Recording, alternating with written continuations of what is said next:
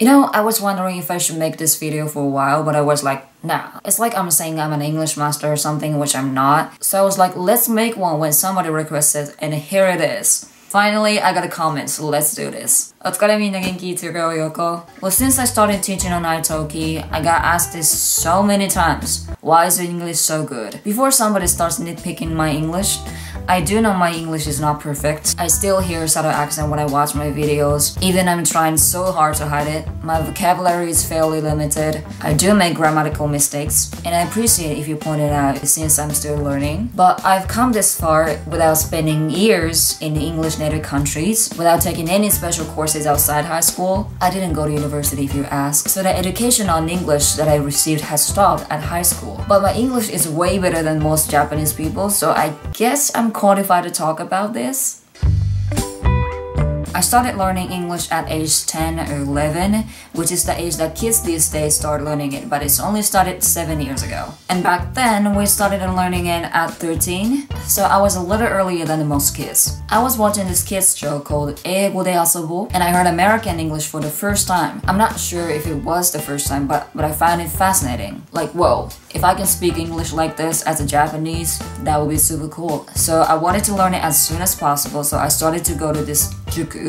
I probably learned most of the things you learn at mid school there. So my grades on English were mostly 10 out of 10, 9 at worst during the mid school. Was I as fluent as I am back then? No. The truth is, I only got this fluent probably like 5 years ago, but my accent was at this level by the time I turned 15. At least I thought it was. But none of the teachers at school had proper American accent, so I'd feel I wasn't validated properly through my entire school life. So how did I improve my pronunciation? I really loved singing, I still do. So I sang a lot, lots of English songs like Avril Lavigne, and Queen, Spice Girls, Celine Dion, Whitney Houston, Lauryn Hill. I did sing this singer song, but I didn't know what they were about. I was finally able to understand the lyrics at probably 23, so pronunciation-wise, it's 100% possible to sound like natives without knowing what you say and without studying abroad. You gotta understand that reading, writing, listening, and speaking are completely different skills that you have to work on separately. I'm gonna break it down one by one. What to do to improve your pronunciation is record your voice. That's it. Record it, listen to it, cringe, practice, and do it all over again and again and again and again. In the beginning, you'll be stunned by how differently you sound from what you thought you would, but at some point, you can perfectly hear how you sound without recording. So reading aloud is a must to improve your accent and pronunciation. You start off word by word using the sound button on the web dictionary. Androgynous. Androgynous. Then practice something short. Me, I will repeat whatever I heard on TV. Something like, Make it possible with Canon. Then move on to something longer. I will practice narrations of some TV series as well because you can learn very standard English intonation with them. Also, most TV series use the same opening throughout the season, so you can remember it as you go through the series. Year after year, 20 something women come to New York City in search of the two L's labels and love. I try to sound as basic as possible. How did I do? My name is Michael Weston. I used to be a spy until. We got a burn notice on you. You're blacklisted. When you burned, you've got nothing. No cash, no credit, no job history. Expecting whatever the city they decided to dump you with. So make sure you mimic it perfectly.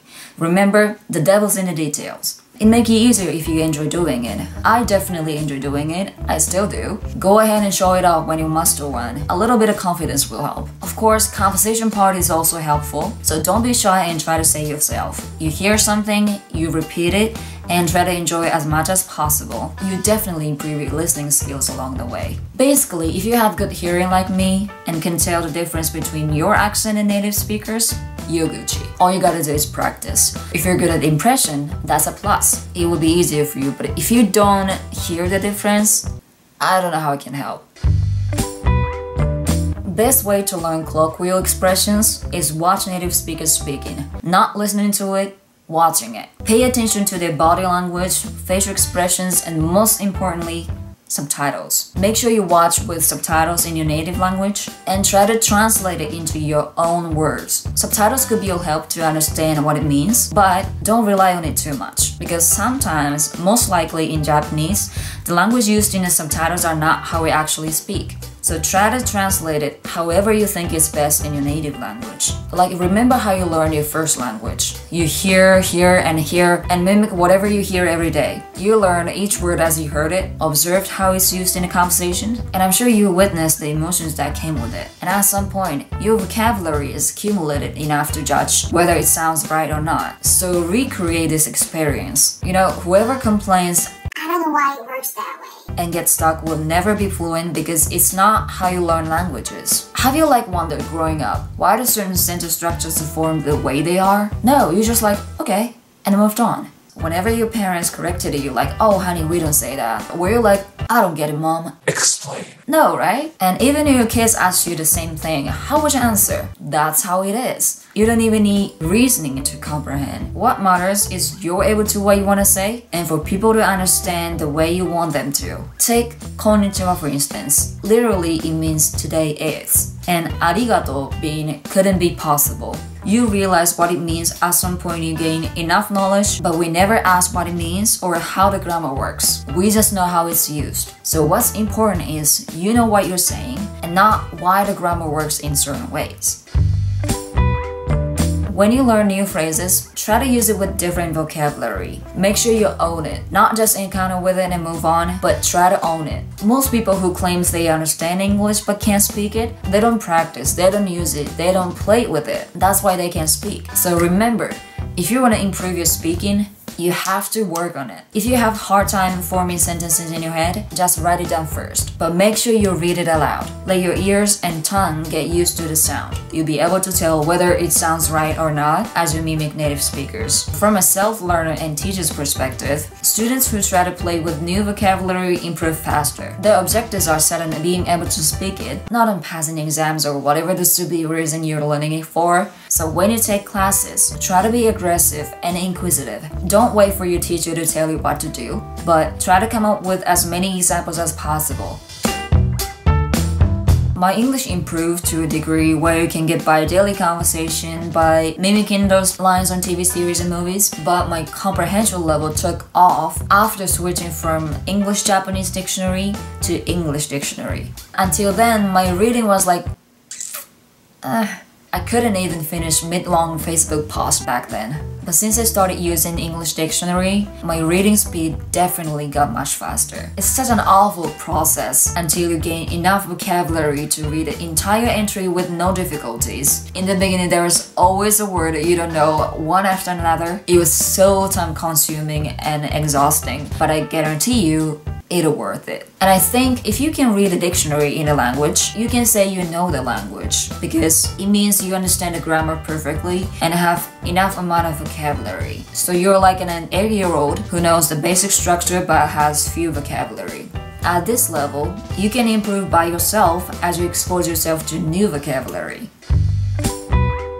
Believe it or not, I hate to sit on the desk and study. Always might sound such a hard work, but it was like a hobby to me. I used to make a note and flashcards, but I never looked at them after making it. Some people do that and try to memorize words, but I can't. Also, I tried to study using those textbooks that are focused on TOEIC as well, but it didn't last. Personally, I don't like the idea of limiting your vocabulary range to work on according to the level you want to achieve. You're a grown person. You should be able to read slash watch whatever the hell you want. So what I did instead was look up the word every time you see a new one. And don't forget to read aloud the whole entry. Don't be lazy with this part because it only takes 30 seconds. You don't have to memorize it right away. The important thing is that you looked it up, even once, and you go back to reading or watching. And you probably see the same word again, and you probably forget what it means, but it's alright. You just look it up again and you remember what it means. Each author or scriptwriters has their tendencies in the vocabulary. So it's very likely you see the same word over and over again. After doing this, let's say six times per word, you'll definitely be able to memorize it.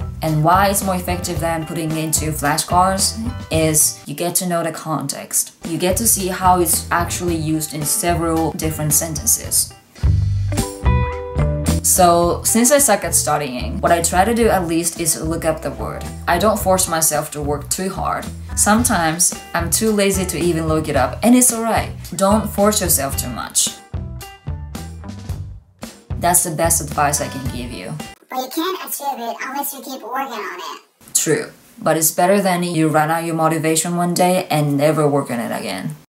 So don't spend hours unless you feel like it. Of course, the more time you put into, the faster you become fluent, but you have to keep yourself entertained to do so. So you have to find something you can keep watching or reading. There are literally tons of contents on YouTube. For example, I love makeup, so makeup tutorials helped a lot.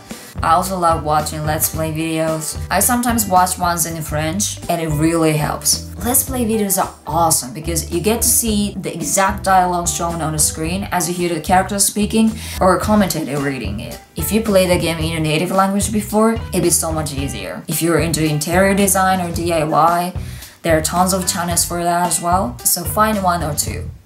Three even. If you don't have anything you're into, are you even living? Hello? If you don't have anything to share with people, why do you even want to learn English?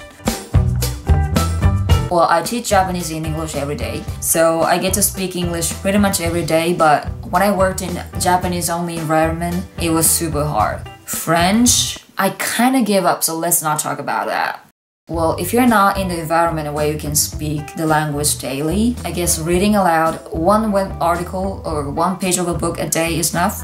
Your pronunciation gets rusty if you don't speak the language, so try to read something aloud. Just one a day. I watch Riverdale just to increase my vocabulary, no matter how crappy found the series is. Or just watch Daylight PewDiePie videos. Well, I think I watch something on YouTube at least an hour a day. You know, after 5 or 10 minutes long videos, it's already been an hour so it's not hard.